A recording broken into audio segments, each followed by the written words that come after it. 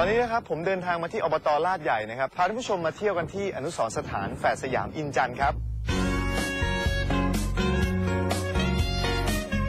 เมื่อปีพุทธศักราช 2354 เกิดสิ่งมหัศจรรย์ของโลก คือฝาแฝดอินจันทร์เป็นฝาแฝดตัวติดกันเป็นฝาแฝดคู่แรกของโลก มีศัพท์เรียกว่าแฝดสยาม อินจันทร์เกิดที่ตำบลแหลมใหญ่ ปากคลองแม่กลอง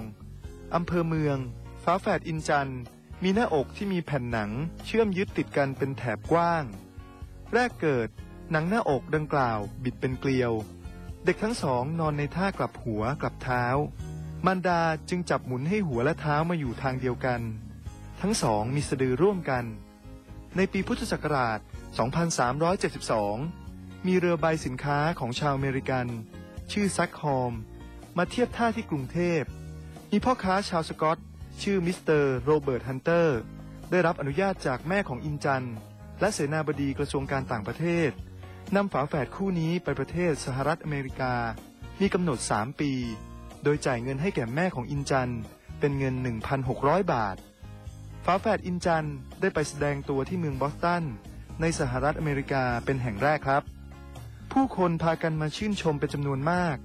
เมื่ออินจันบรรลุนิติภาวะ ก็ได้แยกตัวออกจากมิสเตอร์ฮันเตอร์แล้วไปแสดงในที่ต่างๆ มีคนมาชมเป็นจำนวนมาก ทั้งสองช่วยกันคิดแบบการแสดงต่างๆ ให้เห็นความว่องไวและพละกำลัง มีการหกคะเมนตีลังกาเป็นต้นครับ จนหาเงินได้ร่ำรวย สามารถซื้อที่ดินทำไร่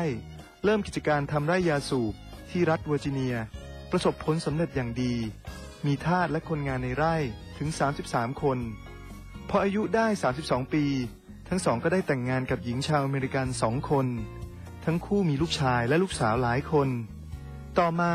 ทั้งสองได้เดินทางไปแสดงที่ยุโรปหลายครั้ง จนทั้งสองถึงแก่กรรมครับ